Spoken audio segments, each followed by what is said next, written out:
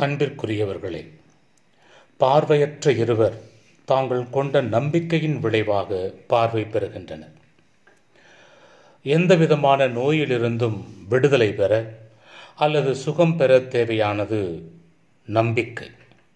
இந்த அடிப்படை நம்பிக்கை இருந்தால் மாத்திரமே நம்மால் எதனையும் பெற முடியும் என்பதுதான் உண்மை. பார்வை இழந்து இருப்பது என்பது ஒரு கடினமான ஒரு காரியம். ஆனால் இன்று பார்வையற்ற பலர் தன்னம்பிக்கையோடும் கடவுள் நம்பிக்கையோடும் துணிவோடு வாழ்வதை நாம் பார்த்து கொண்டுதான் இருக்கின்றோம். கண் இருந்து வாழ்பவர்களின் வாழ்க்கையை விட கண் பார்வை இல்லாதவர்கள் பலர் நமக்கு முன் உதாரணமாக இருக்கின்றனர். கண்ணிருந்தும் நம் வீடுகளில் நடக்கும் பொழுது கூட தடுமாறி விழுந்து விடுவோம். ஆனால் பார்வையற்றவர்கள் தங்கள் கவனத்தை அதிகமாக செலுத்துவதால் கீழே விழுந்து விடாமல் மாடி ஏறுவதாக இருந்தாலும் நடப்பதாக இருந்தாலும் வெளியில் பயணிப்பதாக இருந்தாலும் கவனமாக சென்று வருவதை நாம் பார்க்கின்றோம்.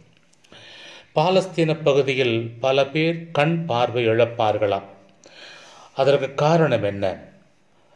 காரணம் அங்கே அடிக்கின்ற அந்த சூரிய கதிர்கள் கண்களை பாதிக்குமாம். பல அர்த்தம் சுத்தம் இல்லாத ஈ போன்ற பூச்சிகள் கூட்டம் கூட்டமாக வந்து கண்ணில் விழுந்து விடுவதால் பார்வை போய்விடுமாம் அடுத்து அந்த மக்களும் சுத்தம் இல்லாமல் சுகாதாரம் இல்லாமல் சரியாக கண்களை பராமரிக்காமல் இருப்பார்கள் என்று ஒரு விவிலிய ஆசிரியர் கூறுகின்றார். இதன் விளைவாக பல பேர் தங்கள் பார்வையை இழந்து கொண்டிருந்தார்களாம் பாலஸ்தீன பகுதியிலே. ஒருவேளை அப்படி பாதிக்கப்பட்டவர்களாக கூட இந்த இருவரும் இருக்கலாம். இயேசு அந்த பகுதியில் ஒரு வீட்டுக்கு வருகிறார் என்று கேள்விப்பட்டு அவரை தேடி வருகின்றார்கள். அவரை பார்த்தவுடன் அல்லது அவரை பற்றி கேள்விப்பட்டவுடன் இங்குதான் இருக்கிறார் என்று தெரிந்தவுடன் தாவீதின் மகனே எங்கள் மீது இறங்கும் என்று இயேசுவை நோக்கி குரல் எழுப்பி சத்தமாக கேட்கின்றார்கள். இயேசு வல்லமை மிக்கவராக இருந்தாலும் தன்னால் பிறருக்கு பார்வை கொடுக்க முடியும் என்றாலும் அவர்களிடம் ஒரு கேள்வி எழுப்புகின்றார். என்ன கேள்வி அது? அவர்களை பார்த்து இயேசு கேட்கின்றார் என்னால் உங்களுக்கு இதனை செய்ய முடியும் என்று நீங்கள் நம்புகிறீர்களா? என்று கேட்கின்றார். அவர்களோ ஆம் ஆண்டவரே உம்மால் மாத்திரமே முடியும் என்று நாங்கள் உறுதியாய் நம்புகிறோம் என்று தங்களுடைய அசைக்க முடியாத நம்பிக்கையை ஆண்டவர்வால் வெளிப்படுத்துவதை நாம் பார்க்கின்றோம். இது மிகவும் அவசியமான ஒன்று. காரணம் ஒருவர் விருப்பத்திற்கு எதிராக நாம் எதுவும் செய்யக்கூடாது செய்ய முடியாது என்று உறுதியாய் இருந்தவர் இயேசு நம்பியவர் இயேசு. அவர்களிடம் பா நம்பிக்கை இருப்பதையும் இரக்கம் வையும் என்று சொல்லி தங்களை அவர் பாதம் சரணடைவதையும் கண்ட இயேசு நீங்கள் நம்பியபடியே நீங்கள் போகலாம் நடக்கட்டும் என்று கூறுகின்றார். அங்கே புதுமை நடக்கின்றது. அவர்கள் பரவசமடைகின்றார்கள்.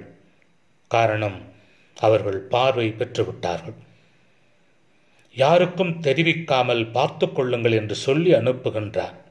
ஆனால் அவர்களோ எல்லோருக்கும் இறைவன் செய்த புதுமையை சொல்லி அறிவித்து கொண்டே சென்றார்கள். அதாவது நற்செய்தியை அறிவிக்கின்றவர்களாக நற்செய்தியின் தூதுவர்களாக அவர்கள் சென்றதை நாம் பார்க்கலாம். இங்கே நாம் கேட்க வேண்டிய கேள்வி நம்முடைய விசுவாசம் எப்படி இருக்கிறது?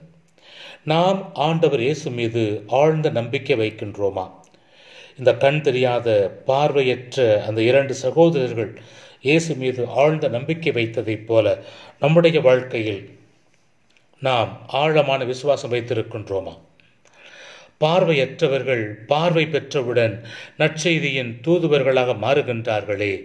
நாம் பார்வை இருந்தும் இறைவனால் அழைக்கப்பட்டதை உணர்ந்தும் நாம் நற்செய்தியின் தூதுவர்களாக மாறிக்கொண்டிருக்கின்றோமா என்ற ஒரு கேள்வியை கேட்டு பார்க்க அழைக்கப்படுகின்றோம். இன்றைய விழா நாயகன் இயேசுவின் அழைப்பை சுவைத்து கிறிஸ்துவின் நற்செய்தியை இந்தியாவிலும் இன்னும் வேறு சில நாடுகளிலும் போதித்தவர். நற்செய்திக்காக நாட்டையும் வீட்டையும் துறந்தவர். கிறிஸ்துவுக்காகவே வாழ்ந்து மறித்தவர். வேத போதகத்தின் பாதுகாவலர் என்று அழைக்கப்படுகின்றார். த பேட்டன் ஆஃப் மிஷன்ஸ் என்று அழைக்கின்றோம். நற்செய்திக்காக பல துன்பங்களை அனுபவித்தவர். அதற்கு காரணம் இவர் இறைவனுக்குள் ஐக்கியமானார். இறை பிரசன்னத்தை தன் வாழ்க்கையில் உணர்ந்தார். இறைவன் என்னை வழிநடத்துகிறார் தொடர்ந்து வழிநடத்துவார் என்று உணர்ந்தவர்தான் புனித பிரான்சிஸ் சவேரியார். உலகமெல்லாம் ஆதாயமாக்கிக் கொண்டாலும் ஆன்மாவை இழந்தால் பயன் என்ன என்று சிந்தித்து ஆன்மாவை காத்துக்கொண்டதன் மூலம் இயேசுவை தன் வாழ்க்கையில் சொந்தமாக்கிக் கொண்டவர். அந்த இயேசுவுக்காக தன் வாழ்க்கையை சொந்த நாட்டில் அல்ல நற்செய்தி அறிவித்த நாட்டிலே துறந்தவர். என்றும் அவருடைய உடல் கோவாவிலே வைக்கப்பட்டிருக்கிறது என்று சொன்னால் பல நூற்றாண்டுகள் கழிந்தும் அந்த உடல் இருப்பதை நாம் பார்த்து கொண்டுதான் இருக்கின்றோம். அதுதான் ஆண்டவர் இயேசு நற்செய்திய பணியாளருக்கு கொடுத்த அற்புதமான கொடை என்றால் அது மிகையாகாது இவரும் அந்த ஆண்டவர் இயேசு மீது ஆழ்ந்த நம்பிக்கை கொண்டு வாழ்ந்ததைப் போல நற்செய்தியின் தூதுவராக கிறிஸ்துவை அறிவிக்காத மக்களுக்கு அறிவித்ததைப் போல நாமும் கிறிஸ்துவை முதலில் நம்ப வேண்டும். அவர் மீது ஆழ்ந்த நம்பிக்கை வைக்க வேண்டும். அவரால் மாத்திரமே நமக்கு நல்ல வாழ்க்கையை கொடுக்க முடியும் என்று நம்ப வேண்டும். அவர் காட்டுகின்ற வழியில் நாம் செல்ல வேண்டும். அப்பேற்பட்ட மக்களாய் நாம் வாழுகின்ற பொழுது இறைவன் நம்மை இன்னும் நிறைவாக ஆசிர்வதிப்பார். எனவே இந்த அற்புதமான திருவிழா நாளிலே இவருடைய நாமத்தை தாங்கியிருக்கின்ற பிரான்சிஸ் சவேரியார் சவரியப்பன் என்று அழைக்கப்படுகின்ற எல்லா சகோதர சகோதரிகளுக்கும் என்னுடைய திருநாள் வாழ்த்துக்களை தெரிவித்துக் கொள்வதில் பெரும் மகிழ்ச்சி கொள்ளுகிறேன். இந்த நாள் நம்பிக்கையின் நாளாக இறைவனை முழுமையாக நம்புகின்ற நாளாக அவருடன் நம்மையை சரணடைகின்ற நாளாக உருமாற உங்கள் அனைவருக்காகவும் ஜெபிக்கின்றேன். May God bless you happy feast day to you all God bless you